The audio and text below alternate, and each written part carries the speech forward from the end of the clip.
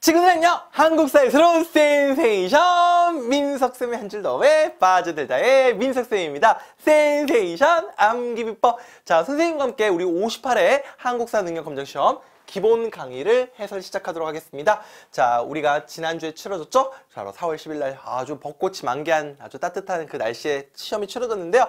자, 우리 학생들이 어떻게 잘 봤는지 모르겠네요. 자, 1번부터 선생님이 해설 강의를 진행하면서 여러분들에게 좀 도움이 되고자 하나하나 좀 디테일하게 짚어드릴 테니까 잘 듣고 59회를 준비하시는 분들은요, 좋은 결과 얻기를 바라면서 1번 문제부터 출발해 보도록 할게요. 자, 1번 문제 어김없이 선사시대 문제가 나왔습니다. 자, 선사시대에서도 이번에는 구석기와 신석기가 아니라 청동기 시대를 물어보고 있습니다. 특히 별을 수확할 때 썼던 이 반달 돌칼 같은 경우는 청동기 시대 대표적인 농기구예요. 청동으로 된 농기구 없습니다. 자, 여하튼 청동기 시대다라고 우리가 체크를 해주시고 자, 우경은요 철로 이용한 철제 농기구입니다. 비파형 둥곰이 청동기 시대 대표적인 유물이죠. 가락바퀴와 이런 거 뼈바늘은 신석기고요. 주먹도끼, 동굴, 막집 이건 구석기와 관련된 키워드가 되겠지. 답은 몇 번? 2번이 되겠습니다. 자, 그 다음 2번 문제. 자, 한국사 퀴즈대입니다. 군장으로서 읍군과 삼로가 있다. 참고로 읍군이 나와서 하는 말인데 여러분 읍군이랑 읍차를 조금 헷갈리면 안 됩니다. 둘 다 군장에 치고 온 건 맞아. 근데 읍군 같은 경우는 바로 옥조와 동해의 군장 이름이에요. 읍차는요. 맞습니다. 사만의 군장 이름이야. 그러니까 여러분들 1단계 힌트를 통해서 우리는 동해 아니면 옥저이구나. 옥저 아니면 동해구나 알 수 있어. 자 그런데 민며느리제와 가족 공동무덤이 있습니다. 바로 옥저죠 옥저. 따라서 정답은 4번. 체크해 주시면 되겠죠? 자그 다음 3번 문제입니다. 자 만화로 보는 고구려의 역사 나왔습니다. 자 평양성을 새로운 도읍으로 정하겠다. 평양촌도가 나왔고요. 보병과 기병 5만을 보내 신라 내무랑을 구원하도록 하라. 광개토대왕입니다. 장수왕 때 이야기 광개토대왕 때 이야기 광장이잖아 광장. 우와 넓다 광장. 고구려 전성기 때 임금들이죠. 자 그 다음에 을지문덕의 살수대첩 수나라 침략을 물리쳤다.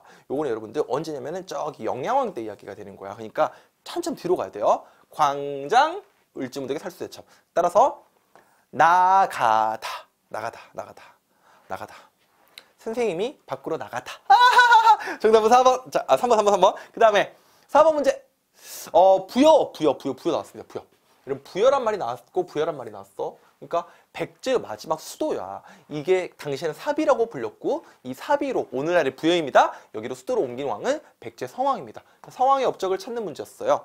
자 동진으로부터 불교를 받아들였다. 누굽니까? 침유왕 때 이야기입니다. 고흥에게 역사서인 사기를 서기 서기 서기 미안해요. 서기를 편찬하겠다.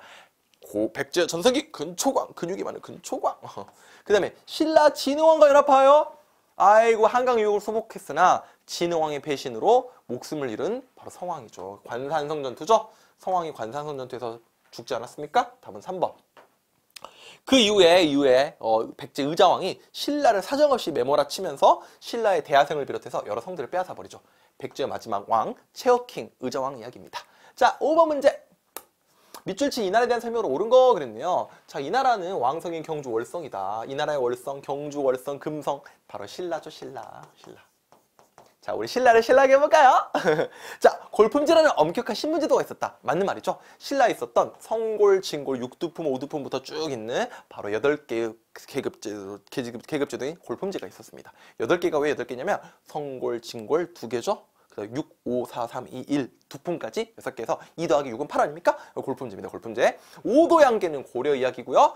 빈민구제를 위한 진대법은 고국 천황 때 이야기입니다. 고구려 고국 천황 때 이야기. 정사함이라고 하는 바위에서 국가의 중대사를 결정했던 건 이거는 백제 이야기가 되는 거야. 자, 그 다음에 6번 문제입니다. 어, 땡땡 문화유산. 음, 가야의 토, 가야의 유물들, 가야의 토기와 가야의 철제 갑옷이 나와 있습니다. 김해라는 말을 통해서도 우리는 다시 한번 가야라는 걸 확인할 수 있어. 여러분들 혹시 김해 김, 김해김 씨 있어요? 김해김 씨? 어, 김해김 씨가 바로 가야, 금강가야의 시조 김수로왕이죠. 그렇죠? 김해 이야기니까 김해는 이 쇠가 많이 나는 바다다라고 해서 김해라고 불렀단 말이야. 오, 진짜 그 정도에서 철이 풍부했죠. 그래서 이 철을 낭랑군이나 외에다가 수출하는 등 활발한 중개무역을 또 이익을 누렸던 나라가 가야입니다. 어, 장시가 전국적으로 성행했던 건 조선 후기 이야기고요. 시장을 감독하기 위한 동시전은요. 신라 때 지증왕 이야기가 되겠고 활구은병이라고 하는 이 고액 화폐는 고려시대 이야기입니다. 자, 7번 문제. 신라 최후의 승자가 되다. 와. 자, 여러분들 신라의 삼국통일 과정에서 마지막에 당과 이 전투를 통해서 신라가 삼국통일을 완성 짓지 않습니까? 바로 뭐예요? 하! 매기 전투! 매기, 매기, 매기 매운탕! 매기 매운탕, 매기, 매기. 매기 수염을 그려줘야지. 매기 전투.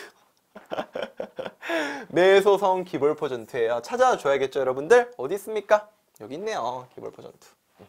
자, 그 다음 8번. 이 중대성에서 아 중대성 나왔습니다.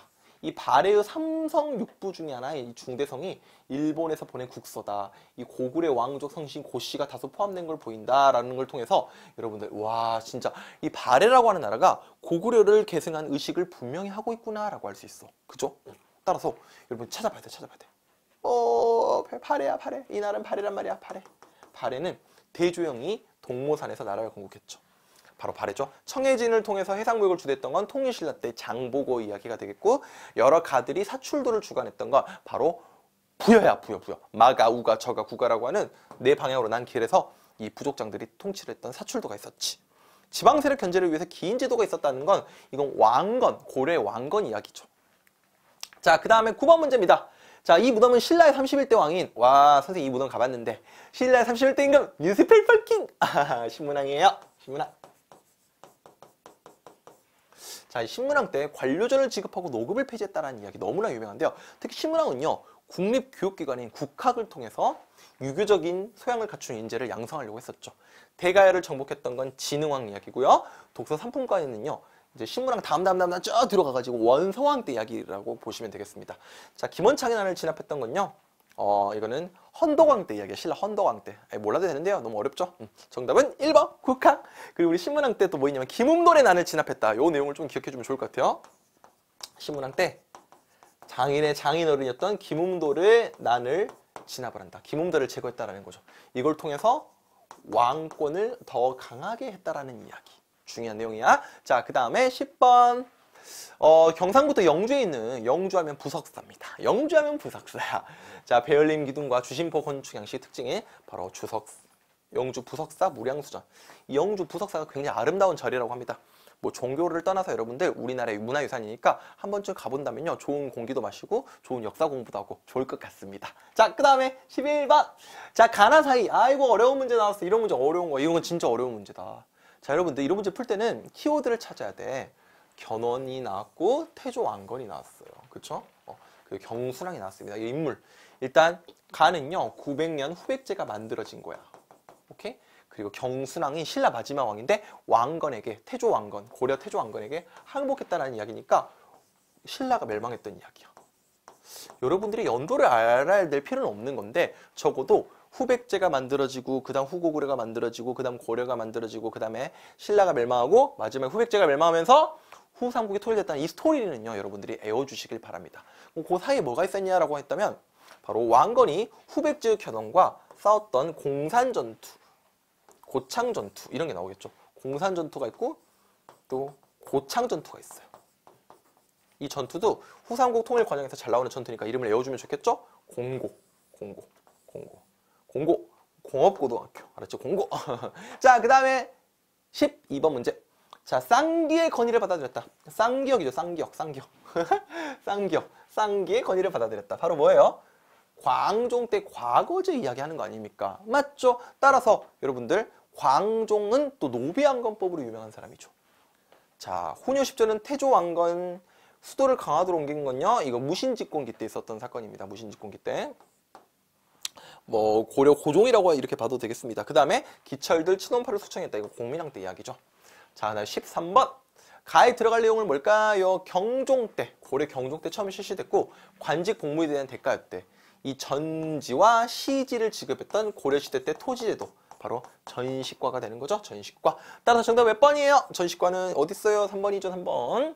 과전법은 조선 거고요. 납속책이라는 건 임진왜란 이후에 어, 자기 신분을 벗어날 수 있는 어떤 수단이었어. 돈을 내고 풀려나는 방법이었지. 호포제는요. 흥선대원군 때 양반에게도 군포를 부과했던 제도. 자, 14번.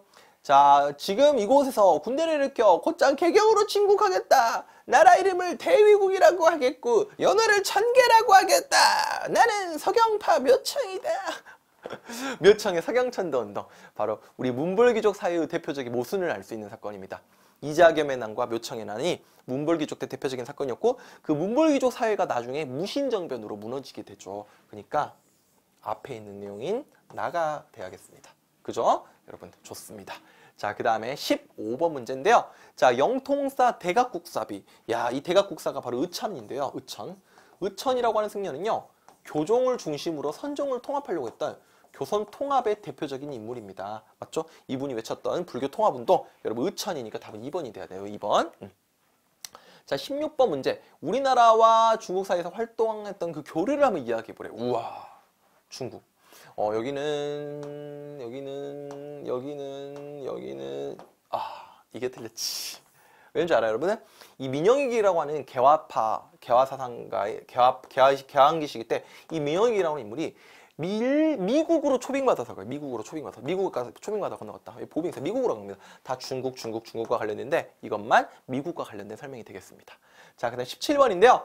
자, 신이 여진에게 패한 까닭은 그들이 기병이고 우리가 보병에서 아, 윤관 장군이 우리가 여진애들을 토벌하기 위해서 특수부대를 만들어야 된다라고 이야기하고 있습니다. 그래서 여진애들을 혼내 크게 물리치고 이 윤관 상군이 싸운 게 바로 동북 구성이야. 그치? 그 윤관 장군이 먼저 특수부대 별무반을 만들고 그 다음에 뭘 쌓았다? 동북구성을 쌓았다. 별똥! 반짝반짝! 별똥! 반짝반짝! 별똥! 반짝반짝! 별똥, 별똥. 미안합니다. 자, 2번이 되는 겁니다. 순서, 순서를 좀 기억해 줬으면 좋겠어요. 18번이 문제입니다. 어, 18번 문제 같은 경우는 여러분들, 와, 좋은 문제야. 자, 개경과 서경이 나왔어. 고려라고 하는 도시죠. 고려라고 하는 나라에 아 고려라고 하는 도시주가 아니라 고려의 도시죠. 개경은 고려에서 서경은 고려의 정신적 수도였단 말이야. 자 고려입니다. 고려. 뭐 12, 12목도 나왔고 이 고려 시대 때 대표적인 물가 조절 기구였던 게 바로 항상 평평하게 하겠다라는 상평창입니다.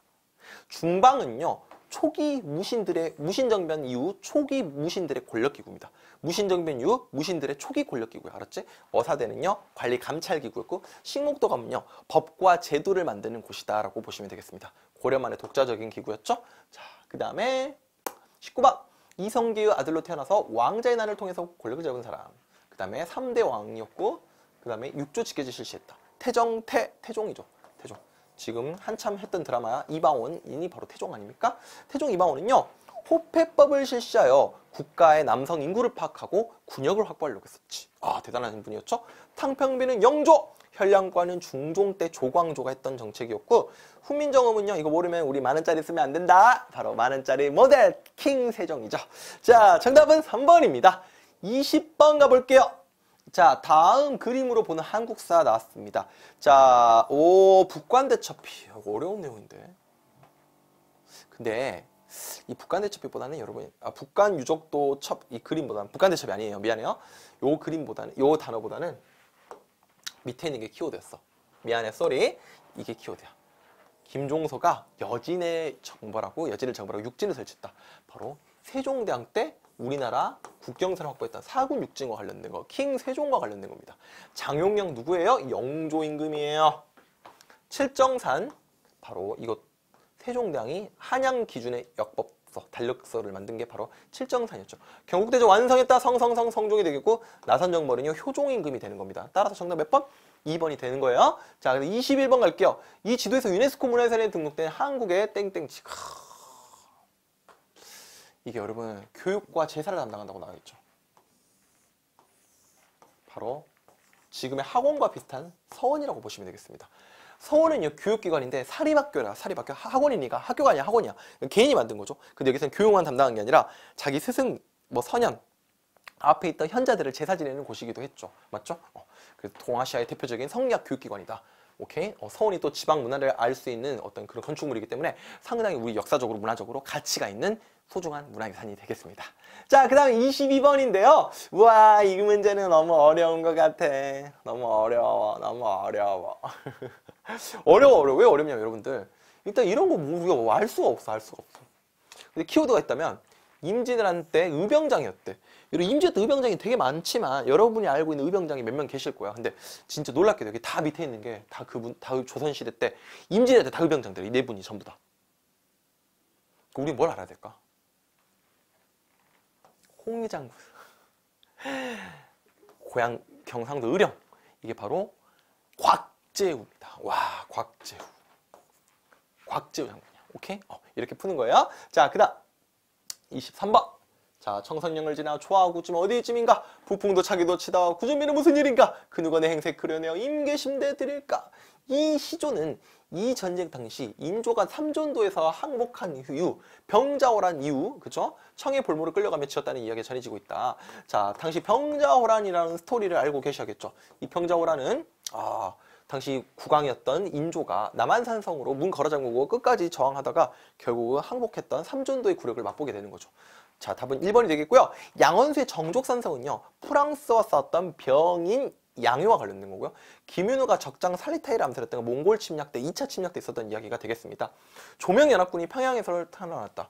이건 여러분들 임진왜란 이후 명군의 요청 이후에 조선 정부가 전세를 역전하는 그런 모습 속에서 볼 수 있는 상황이에요. 정답은 1번이 되겠습니다. 24번 문제 가볼게요. 음, 이 기구는 원래 외적의 침보자 대비하고자 나왔다. 그죠? 별난에 대비하고자 하는 관청이었대. 근데 양난이라고 하는 임진왜란과 병자호란 계기 이후에 국방뿐만 아니라 모든 국정을 총괄하는 최고 기구가 되었다는 거. 바로 비변사가 되겠습니다. 변비사가 아니에요. 비변사예요. 정답은 1번. 사원부는요. 관리 비리를 감찰했던 곳이고요. 의금부는 왕의 직속 사법기관이라고 보시면 되겠죠. 홍문관은요. 국왕의 자문기구 역할을 했다. 그 다음에 왕과 신하가 공부하는 경연을 주관하는 곳이 또 홍문관이라고 하는 관청이었죠. 자, 비변사 너무 중요하죠? 이걸 나중에 깨버린 사람이 흥선대원군이라는 것도 알고 계셔야 됩니다. 자, 25번. 양민의 불임담을 털어주고자 군포를 절반으로 줄인다. 그리고 이 균형법이죠, 균형법. 이 균형법이 실시된 임금은 우리 영조죠. 답은 1번이 되겠고요. 어장세나 소금세 등으로 부족분을 채우겠다라는 게 이제 균요법 이후에 나왔던 키워드들이 되겠습니다. 대동법은요 공납의 폐단을 극복하기 위한 거고 영저법은요 조세 직전법은요 세조가 현직 관료들에게만 지급했던 토지제도가 직전법이었죠. 과전법이 직전법으로 바뀌는 거죠. 그 다음 26번인데요. 어, 역시 사진 나왔습니다. 추사 김정희 선생. 우리 김정희 선생님은요. 추사체라는 글씨로도 유명하고 그렇죠? 그 다음에 또한 금석학이라 그래가지고 비문을 해석하는 그런 학문에도 되게 밝았던 사람이라고 합니다. 또 이분이 그린 그림 세안도라는 그림도 유명한데요. 김정희 선생님 글씨로 너무너무 유명한 추사체가 유명하다. 자, 27번. 자, 이 사건에 가담한 이유가 뭐냐? 자, 너무 자주 나왔던 기출들인데 백낙신이라고 하는 뚜레기가 있고 뚜레기 어, 경상우병사라고 있을 때가 나쁜 짓을 많이 했다라는 거지. 그러니까 유계춘이라고 하는 어, 어, 써 있어, 써 있어. 오, 써 있네. 유계춘이라고 하는 이 지역의 몰락 양반이 밀란을 일으켰는데 이게 전국적으로 성행하게 됐던 진주 임술 밀란의 시작이었죠, 시작. 음. 결국 이 이후에 조선 정부는요 삼정의 문란을 시정하기 위해서 삼정 이정천을 설치하고 뭐 암행어사를 파견하는 등 여러 가지 노력을 서했으나 미봉책에 불과했다라는 이야기지. 정답은 2번이죠. 자, 1번 같은 경우는 동학노미운동 때 2차 봉기와 관련된 겁니다. 논산에서 집결했다. 남쪽과 북접이 연합했다. 갑신정변이 우정국 개국 축하 연회에서 발생하게 되는 거고요. 흥선대군의 청나라에서 텐진을 납치했던 건 이모군란의 결과죠. 그쵸? 정답은 2번. 자, 28번인데요. 감자 팝니까? 아유, 그럼요. 고구마도 팔아요. 상평동무 환영합니다. 끝났습니다. 감자, 고구마, 뭐 고추 이런 작물들이 전해지게 되고 상평통모가 널리 유통이 된다. 이 조선 후기입니다. 자, 이 시기는 여러분 언제라고요? 조선 후기로 문제를 푸시면 되는 거예요. 오케이 말이? 자, 그래서 국자가문이라고 하는 건 고려시대 국립교육기관이가 잘못됐죠? 팔관에 역시 고려시대 때 있었던 종교 행사입니다. 판소리 공연을 구경하는 국민. 아, 맞죠. 3번입니다. 조선 후기 때 서민문화의 발전 속에서 바로 판소리, 뭐 한글 소설, 맞습니까? 탈춤, 이런 문화적인 모습들 조선 후기 키워드라는 거 알고 계셔야 되죠? 답 3번. 삼별초는 여러분 고려, 고려잖아, 고려. 그지? 어. 자, 그 다음에 29번. 어, 영무당 예터 나왔습니다. 이 강화도에 가면 실제로 영무당 예터가 이렇게 나와 있고요. 여기서 실제로 1876년에 이 조약을 체결하게 돼요. 이게 바로 뭐예요? 강화도 조약입니다. 강화도 조약. 음, 강화도 조약. 우리나라가 외국과 맺은 최초의 근대적 조약이 바로 강화도 조약이었고 이게 일본의 조선 침략의 어, 시작점이 되는 거죠. 음. 자, 30번. 와, 보수의 대표 인물. 정말 어, 최익현이라고 하는 분이죠. 딱 이분 하면 대나무가 떠올릅니다. 정말 올고든 분이었죠. 정말 부러지지 않는 자 휘어지지도 않고 부러질지언정 부러지지 않았던 또 야 이분은 외양일체론 우리 방금 봤던 강화도 조약 체결 전에 외인과 서양인들은 똑같은 애들이다. 일본과 조약 체결한 거 아니되옵니다. 라고 했던 분이 이 최익현입니다. 최익현. 뭐 흥선 내용은 하야상소를 올리게 됐고 나중에 여러분 보다시피 을사의병에 한 거예요. 을사의병에 어, 을사 조약에 저항하여 을사의병을 일으켜가지고 나중에 대마도에서 순국하신 분입니다. 대마도라고 하는 숲에서 단식 투쟁하시다가 순국하셨던 분이야. 답은 2번이 되겠습니다. 북하기를 저술했던 건 박제가 신흥 무관학교를 설립했다. 이혜영을 비롯한 그 독립운동가 분들이죠. 시일야 방성대국은 장지연이라고 하는 사람이에요. 자, 31번. 음. 오, 재밌는 문제네. 자, 이 집터는 민흥식이라고 하는 사람이 집터래. 99인들이 벨기군과의 차별 대우에 반발하여 이 사건을 일으켰을 때 궁궐을 빠져나온 왕비가 피라나, 피라나였던 곳임을 알려주고 있다. 바로 여기는 여러분 이 이모군란과 관련된 사건 그리고 그 이모군란의 결과를 물어보고 있는데요. 청나라의 내정 간섭이 무지무지 심해졌다. 왜? 청군의 개입으로 이모군란이 진압이 됐기 때문에. 그쵸? 따라서 정답은 4번. 그 결과값으로 조청, 상민, 수륙 무역장정이라고 하는 이름이 어마어마하게 긴 조약도 또 여러분들이 암기해 주셔야 됩니다. 자, 정답은 4번이 되는 거예요. 집강소는 동학과 관련된 거고요. 조사 시찰단 같은 경우는 여러분들이 잘 아는 강화도 조약 이후에 일본에 파견됐던 사절단 이름입니다. 왜 규장각이 약탈됐던 건 아까 프랑스 쳐들어온 거 병인 박해 이야기했죠. 아, 병인 양요 이야기했죠. 그때 프랑스 군대가 약탈해간 문서가 왜 규장각 도서입니다. 자, 32번 학술 연구에 자 제국주의 국가의 침략으로부터 주권을 수립하고자 최 서재필이 만든 단체. 자 우리나라 최초 시민단체라고 볼 수 있는 독립협회인데요. 강연회와 토론회를 통해서 민중을 깨우치, 깨우치려고 했고 만민공동회를 통해서 당시 현안들 여러 가지 의제들을 논의했던 모임이 만민공동회죠. 그리고 나중에 관과 민이 같이 합심하여 또 관민 공동회를 열리게 되는데 이때 헌의육조를 통해서 전제 군주정 아 뭐야 뭐야 입헌 군주제 국가를 좀 지향하려는 그런 모습을 보였고 의회를 설립하려고 하는 모습을 보였죠. 음. 독립협회가 되겠습니다. 좋은 문제였어요. 자, 이 33번 회사령 그랬습니다. 회사령을 허가제를 받아야 된다. 자, 1910년대 일제의 통치 방식 속에서 나왔던 내용이 되겠습니다. 특히 10년대는요, 일본이 우리의 토지를 약탈을 하고자 토지 조사 사업을 실시했죠. 자, 3, 40년대가 되겠습니다. 3, 40년대. 농촌진흥운동도 마찬가지가 되겠고 자 정답은 1910년대 때 일본의 경제 수탈 정책은 회사령과 토지조사 사업이야. 정답은 4번. 자 그 다음 34번입니다. 어, 상하이 임시정부입니다. 상하이 뭐 임시정부죠. 임시정부는요 연통제를 실시했다. 맞죠? 독립공채라고 하는 공채를 발행했다. 구미위원부를 설치하여 외교활동을 점령했고요. 에이 대한국 국제는 대한제국 고종 황제가 황제권을 공고히 하기 위해 반포한 문서가 되는 거죠. 일종의 대한제국의 헌법이라고 볼 수 있는데요. 전혀 관련 없는 설명입니다. 자, 그 다음 35번. 어린이날 동학 계승했대요. 선두교. 아, 뭐야, 뭐야. 천도교죠. 천, 천도교, 천도교, 천도교. 자, 천도교라고 하는 종교죠. 우리 천도교가 처음에 또 이 단어를 또 여러분들이 알면 좋겠네요. 사람이 곧 하늘이라고 하는 인내찬 사상을 내세웠죠. 맞죠?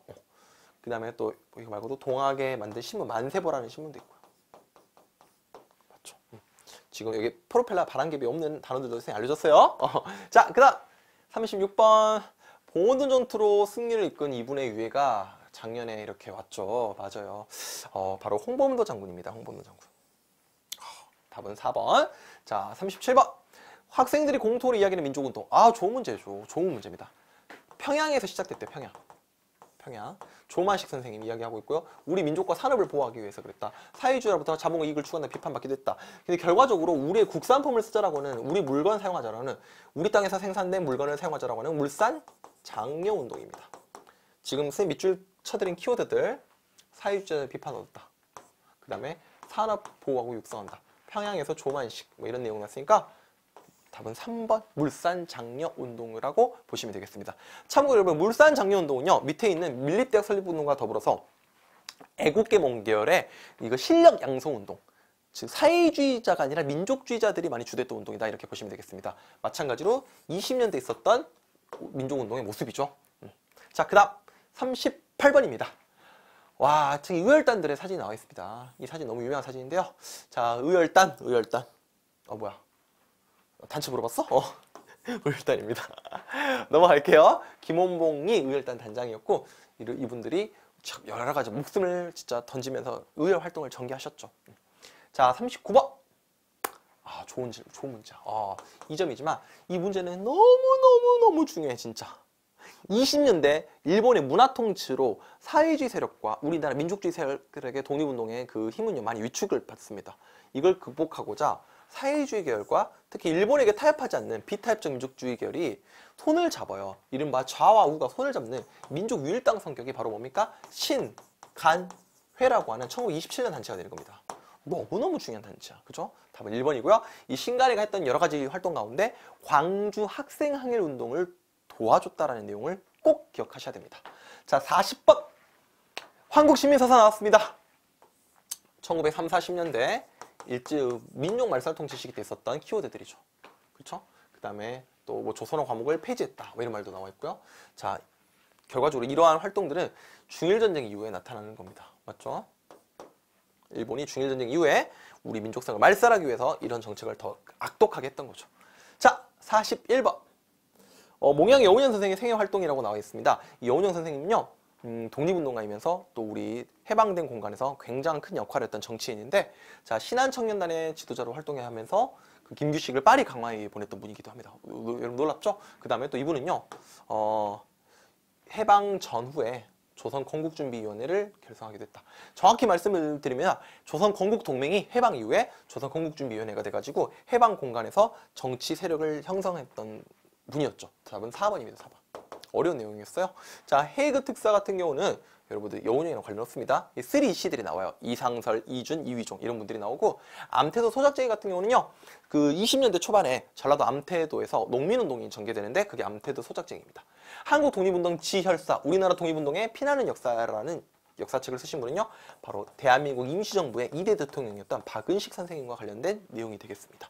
따라서 정답은 41번에 4번이 되겠고요. 그 다음에 42번 가겠습니다. 어, 53년 7월 27일 너무나 중요한 역사야. 바로 6.25 전쟁이 끝났던 휴전협정 체결된 연도입니다. 그래서 1953년부터 지금 현재까지 이 강의를 찍고 있는 시점이 지금 2022년이니까 지금 반세기 넘도록 우리는 휴전 상태에 있는 거죠. 그렇죠? 자, 그럼 6.25 전쟁 중에 있었던 사실이 아닌 거 골라라 그랬거든요.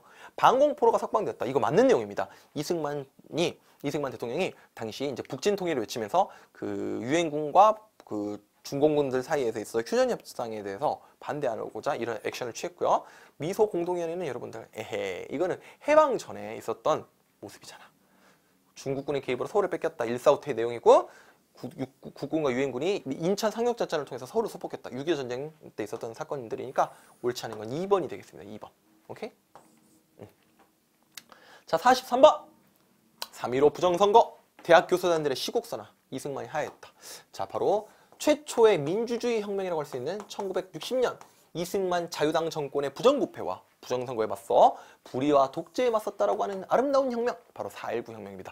헌법에도 쓰여 있는 우리나라 최초의 민주주의 혁명이라고 볼 수 있겠지. 자, 그 다음 44번인데요. 여러분 여기서 키워드를 좀 찾는 연습을 이제 해봐야 돼요. 자, 경부고속도로가 나왔습니다.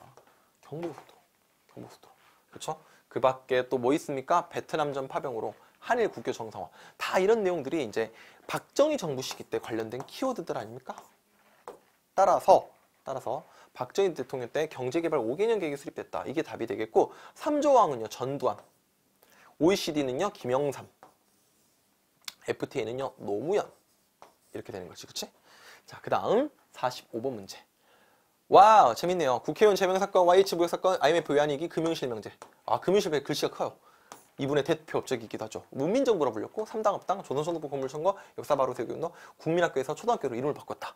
다 김영삼 대통령과 관련된 내용이거든요. 정답은 2번이 되겠습니다.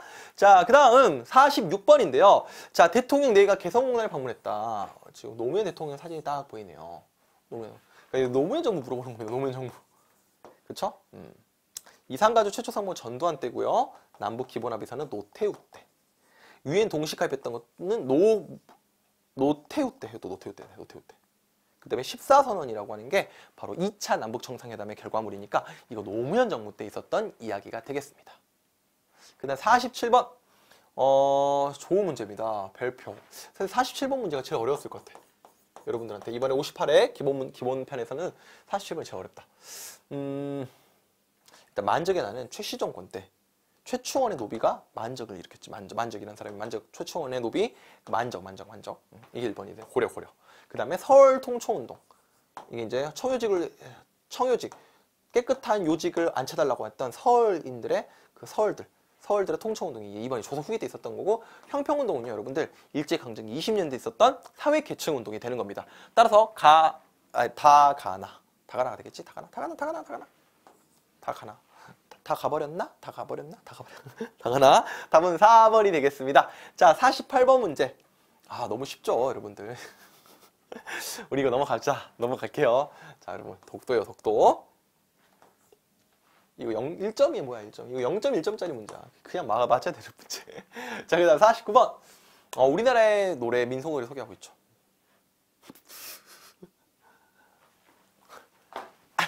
체기체기 아닙니까, 체기체기. 3번. 마지막 대망의 50번. 이것도 좋은 문제야. 아 이거 어려운 나 이런 문제가 나올 줄 몰랐어 선생님 진짜 어 서원경이라고 하는 게 신라가 통일 이후에 구주 오소경을 설치하는데 이 오소경 가운데 서원경이라고 있어서 서원경 이 서원경은요 지금의 청주 지역입니다 청주 청주에는요 또 이 직지와 흥덕사를 주제로 흥덕사 청주 흥덕사지에서 직지심체가 만들어지기도 했죠 그렇죠 그래서 어, 청주 답은 4번입니다. 이건 좀 어려운 내용이었을 것 같아요. 여러분, 이건 이 내용은 진짜 어려운 거야. 음. 정답은 마지막 50번에 4번이 되겠습니다. 자, 이렇게 해서 선생님과 함께 우리 한능급 58회차 기본 문제를 모두 다 해설을 마무리해봤고요. 선생님은요, 다음 영상에서 또 만날게요. 59회에서 만나요. 안녕!